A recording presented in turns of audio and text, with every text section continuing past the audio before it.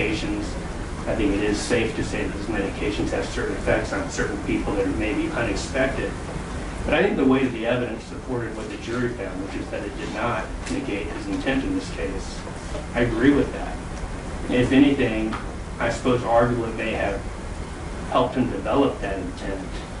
But with the actions in this case, so be, being so clearly targeted towards a particular goal, and the steps taken in, in pursuit of that goal, there's no escaping, in my view, what the jury found, which is that it was a premeditated uh, attempt to kill Mr. Kraska.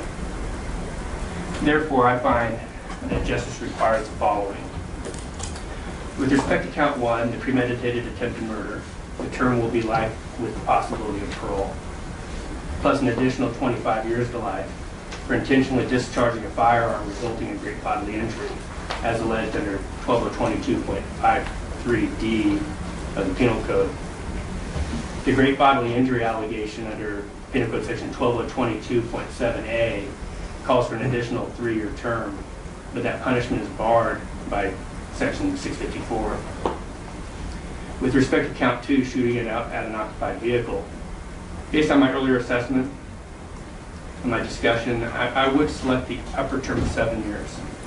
But since on this count and on each of the uh, three allegations under count two is barred under 654. Those allegations are as follows. The 12022.53D allegation, which carries 25 to life.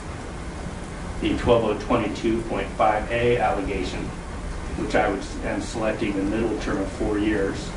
Um, I'm doing that, frankly, to avoid any sort of dual use issues, even though I am barring this under 654. And the 12022.7A, which is a, would be a three-year term, all barred by Penal Code Section 654. Count four, and I'm putting count four before count three because of the specific circumstances of that, of those two crimes. With respect to the criminal threats in count four against Mr. Hibbler, um, and based on these threats being, in my view, of the evidence completely unprovoked, and the fact that the threats went on over a significant period of time, and that they were extremely serious, including the threats to shoot the victim or others in their head, and talking specifically about getting a firearm, I believe the upper term of three years is appropriate. It may seem like piling on, but I uh, believe that I should and I am going to consider these crimes as independent and warranting their own justice. Count three, the criminal threats against Mr. Ms. Ms. Fimbres carries an additional consecutive eight months, which is one-third the middle term of two years. Uh, I've chosen to run counts three and four consecutive to each other and to the indeterminate terms in count one due to them being separate crimes on separate dates, independent of each other and independent of the attempted murder in count one. Therefore, Mr. Montana, is the judgment and sentence of this court that probation be denied, that you, you be committed to the California Department of Corrections and Rehabilitation for the term of life with the possibility of parole, plus, plus 25 years to life, plus three years and eight months.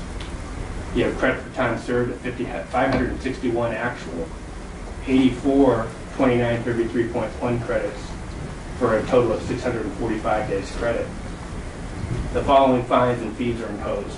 There's a restitution fine of $10,000, an additional restitution fine of $10,000 will be stayed, a court security fee of $160, an ICNA fee of $120, and a, a CJ, CJAF fee of $154. I'm ordering restitution to the victims, Kyle Kraska, Robert Hibbler, and Lydia Fimbres, and an amount to be determined by the court. I'm ordering restitution to the victims' compensation program based on the documents provided in the amount of $3,257, subject to future modification by the court. And I'm ordering DNA testing to PC 296. The um, trailing misdemeanor matters people's motion to dismiss those matters. Yes, Your Honor. That motion is granted under D1, uh, D177, I'm not sure, but in any event, they're dismissed in the interest of justice. C, it's cases number C346138 and C345759. Those cases are dismissed. Um, Mr. Jackmore, does your client wish to waive his presence for any future restitution review or restitution hearing? I did speak to him about this. He does not want to waive his presence. Okay, so let me just be clear, Mr. Montana, if there ends up being a hearing put on calendar where that we're going to determine whether or not restitution is to be paid to any of the victims and what the amount of that restitution is, you do have the right to be taken out of prison and brought back here for that. You also have the right to waive your presence and have your attorney, attorney appear on your behalf. You wish to be brought back and not waive your presence? I'd rather come back. Okay, then we will, uh, you'll be brought back should here and be put on calendar. And Before you leave, I got one question too.